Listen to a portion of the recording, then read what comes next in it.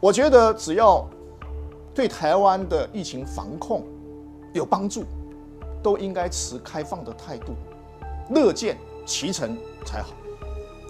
那其实啊，台湾老百姓也都心里有空，也也都心里有数啊。民进党蔡英文的这个政权啊，它就是靠仇中反中嘛，逢中必反，他就是民进党起家的。我们不要说起家，就至少我们从回看过去的五年，蔡英文二零一六年能够当选，他不是顺着风吗？顺着什么风呢？比如说二零一四年太阳花反服贸、反货贸、反中，顺着这个风啊，逢中必反的这个风，再加上二零二零年一月的那一股全球的民粹反中的逆流。所以，逢中必反，仇中反中，是民进党蔡英文的政治资本。他要丢掉这一个黄金都买不到的政治资本，仇中反中，他要丢掉是非常困难的，因为他们非常清楚，绿营非常清楚，如果丢掉仇中反中这样子的一个金字招牌的话，他们就失去了安身立命的一个基础。各位观众朋友，其实啊，我们在五六年前哈，你如果还有印象，其实一直到现在，最近几年都还有人在传。最远的时候是在二零一六，我印象中啊，就有很多人啊，手机啊，手机一些呃短短的一则，比如说格言呐，或者说是名人说的话啦，五六年前啊，就有人在就有人在传呢。曾国藩就是满清，满清的时候，清朝的时候有一个忠心的大臣啊，叫曾国藩。他讲一些话，他讲什么叫做乱世啊？那我今天呢，我也把它做成一个图版，让大家回顾一下啊，这个他讲的这些话啊，他讲了什么呢？他在讲乱世，曾国藩讲乱世啊，他说乱世之所以迷乱。啊，大抵啊，乱世之所以迷乱者，第一，在黑白混淆，黑白混淆；第二，在君子欲让，小人欲望。黑白混淆大家都听得懂，啊，大家都知道是怎么一回事，就是黑的说成白的，啊，白的说成黑的，没有没有公理，没有是非。然后呢，君子越让，就是说越客气的人。越有礼貌的人，越温良恭俭让的人，越龟缩，会越退让。但是呢，那些嚣张的人，反而越胡来，越来越乱来啊！所以我为什么要再提这个曾国藩的这一句、这一这一段名言啊？就是啊，我告诉各位啊，我最近看到杨志良啊。杨志良他想讲的一些话，形容或者说是措辞，容有过过激之处啊，过于激烈之处。但是我认为他的内心的一个发起点，他的一个真心的想法是为台湾好啊。大家想想看，他是一个退休的前署长。他讲让民进党或者让独派的人不开心的话，他到底有什么好处？他是会升官发财吗？他也这么大年纪了，七十几岁的人，他会升官发财吗？我跟他接触，以前在因为谈话节目，我常常接触，后来几次吃饭，非常近的距离跟他聊天深谈，我觉得他是一个非常好的人啊，我不觉得他是一个想为非作歹，或者说是借着，呃。挑拨是非，或者是借着他自己放言无忌，然后呢，可以来博眼球之外，还可以升官发财、发大财，不是这样的人。他是有什么就说什么啊。还有那个邱淑媞，前台北市的卫生局长啊，邱淑媞，我觉得他虽然过去大家质疑他有一些瑕疵。大家用这个鸡蛋挑骨头的方式去看他，如果用鸡蛋挑骨头的话，包括我在内，全世界的人通通是每一个人都问题一大问题一大堆啊。我觉得就是这样子，因为八一七啊，或者说一四五零带风向，一些绿色的网民带风向，去抹黑抹红，去无止境的去羞辱人家，所以呢，君子欲让嘛，他不敢说话了嘛，不敢说真心话了嘛。所以我觉得像杨志良、像邱淑媞这样是了不起的。为什么他们敢说真话？台湾社会就是没有人敢说真话，没有人敢说真话。那让一些没有良心的人、无良的人拼命在那边发发言，拼命在那边放言无忌，让全台湾的人觉得哦，他们这些人就是讲的是真理。这个就是台湾没有是非。黑白混淆的一个最重要的原因，所以我在这边不是说我在帮杨志良说话，也不是在这帮邱邱淑媞说话，我是在帮一个社会的黑白良心说话。要让社会有良心，必须要让敢讲真话，而且呢讲对的话的人出来讲他们应该讲的。所以，这个五六年前呢。已经台湾已经出现了乱世了，就是曾国藩所说的乱世。我认为现在没有更好，是越来越糟糕。好人越来越不想出头，也没有办法出头，出头的都是那些人。所以今天的问题，除了台湾的疫情的严重之外，更重要的是台湾没有是非，没有公理。这个是我们值得。好好的深思的，如果这样下去的话，台湾两千三百万老百姓是没有办法达到我们无色觉醒的一个目标，就是让人民过更好的日子，只会日子越来越差。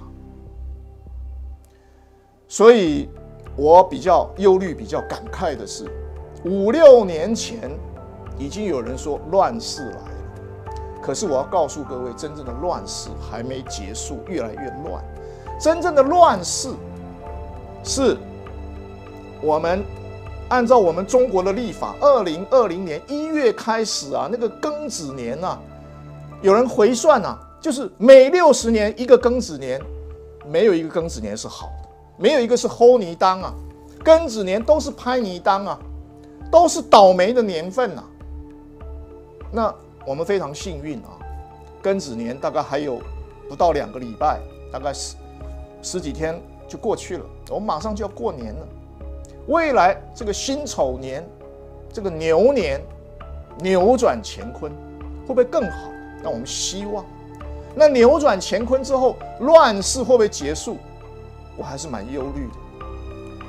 曾国藩讲的那一套乱世，跟今天的乱世，跟今天这个乱世，因为曾国藩他所处的那个年代是清朝由盛而衰，经过太平天国之乱，经过。外国帝国主义列强的侵略，中国内乱，外忧开始越来越乱。那今天台湾，你说不会啊？我们的我们的国军很强啊，我们的我们的 GDP，我们你看我们三点多，我们四点多，好厉害哦！我们的股市每天哇，好红哦，都开红盘哦。告诉各位。那些红红绿绿都是假象，真正的东西，像我们这种知道的，我们忧心如焚呐，我们忧心如焚呐。我的感觉，曾国藩说的那套乱世，跟今天比起来，真是小 case。我用最简单、最容易懂的方式，告诉大家，啊，告诉大家今天的这个乱世是什么样的一个状况，分裂。全世界都处于一个严重的分裂的状态，包括台湾，八百一十七万绿色的选民，五百五十二万蓝色的选民，台湾分裂，台湾是一个分裂的状况，台湾是一个处于一个分裂的状况。那我们无色觉醒，其中有一个核心的、核心的一个意涵，就是说，希望能够不要再蓝绿恶斗。但是，蓝绿恶斗到目前为止没有任何停止的迹象，而且愈演愈烈，这是我们忧心的。还有，大陆与台湾两岸关系严重分裂。去年，习近平先生新年讲话到一月十一号，台湾大选一直到现在，乱没停过。其实过去五年以来，两岸关系处于严重撕裂的状态。两岸是分裂的，两岸是撕裂的，台湾内部是撕裂的。世界又何尝不是如此？世界更是严重分裂。我给大家看一看，看一张六十年前美国的历史照片，时间地点是一九六一年的一月二十号，美国的首都华盛顿。大家看看，同样的地方，同样的场景，是在美国的权力中心。就像拜登前几天就职的那个场地，可是场地跟场景是不一样的。大家看看这个画面，当时新就任的总统是谁？又年轻又帅的甘乃迪先生。甘乃迪总统是美国最年轻，而且大家公认的最飘派、最英俊、最潇洒的一个美国总统，四十三岁。当时的美国，他也是内忧外患啊。他内部有非常严重的种族情节、民权运动，黑人的民权运动甚嚣尘上；外国在外部有美苏的紧张关系，冷战非常的尖锐。美国的太空竞赛远远落后于苏联，苏联不但发射了人造卫星，而且呢。他们也开始进行太空的这个探险，可是美国是遥遥落后的。在这样的情况之下，美国也是处于一个分裂的边缘。美国的总统约翰甘乃迪，他的副手詹森，啊，但是呢，大家有没有注意到？我想大家一定注意到，拜登，拜登就任的时候，川普先生有没有在场？不在场，他不屑。他拒绝，他拒绝去参加这一场他不承认失败的总统大选。可是呢，在甘乃迪的那个时代，前任的副总统尼克森，前任的总统艾森艾森豪都在，不同党，甘乃迪民主党，艾森豪是共和党，可是呢，他们有民主的风度。美国虽然濒临于内乱的状态，可是，在当时是没有分裂的。可是现在，我要讲就是，美国是分裂的，美国是分裂的。啊，那所以现在我们说愿愿赌服输啊，民主风度啊，可是美国已经不是民主国家，美国变成一个狂飙世纪，这代表美国分裂。美国的国会被暴民占领，这是一个非常可怕的一个状况。就像是二零一四年，啊，二零一四年，我们的一些大学生，他们当然是满腔的热血啊，年轻人都是满腔热血嘛，都认为说自己永远是对的，自己是站在公理正义的这一边嘛。台湾的年轻人，跟历朝历代。历史有史以来的，年轻人都是这样子。